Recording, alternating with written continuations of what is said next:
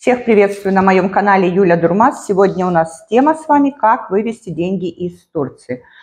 По каким-то личным причинам вы решили продать свою квартиру, все, сделка состоялась, вам покупатель отдал деньги, и теперь становится вопрос, что же с ними делать, как их вывести из страны.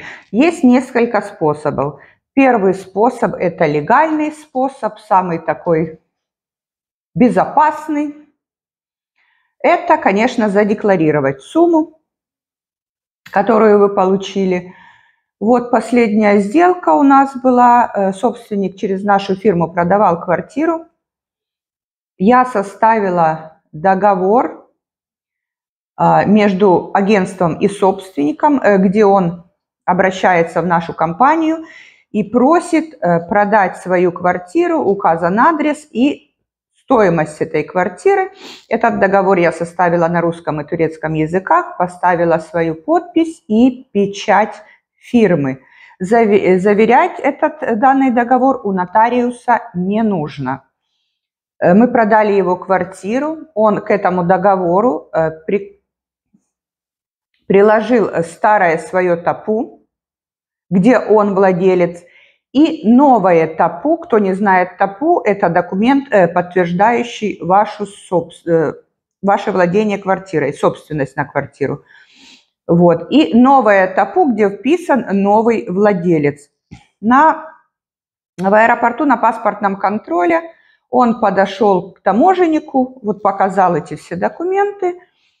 Еще раз проговариваем, это договор между собственником и агентством – старое ТАПУ, где он владелец, и новое ТАПУ, естественно, фотокопии, где владельцем его квартиры уже новый человек является. Он показал эти все документы, без проблем таможенники ему помогли заполнить эту декларацию, и все. И он поехал с этими деньгами на родину. Второй это э, способ, это можно здесь открыть счет в турецком банке, также открыть онлайн-банкинг, э, все деньги от продажи квартиры забросить себе на счет и потом в онлайн-банкинге потихоньку их переводить на счет э, резидентам страны, которой вы являетесь, в которой вы живете. Теперь Третий способ такой для самых рискованных, отчаянных. Кстати, у меня так клиент постоянно перевозит деньги сюда, чтобы покупать квартиры. Он их прямо в чемодан, в багаж кладет, заворачивает. Э, ну, не буду э, говорить, в общем, как, потому что еще, не дай бог, YouTube меня заблочит. В общем, в багаж эти деньги складирует, потом багаж э, пленкой заворачивает и здесь уже получает чемодан и деньги у него. Ну, конечно, этот способ такой, еще раз повторяюсь, рискованный, потому что чемодан может потеряться, ну и другие нюансы.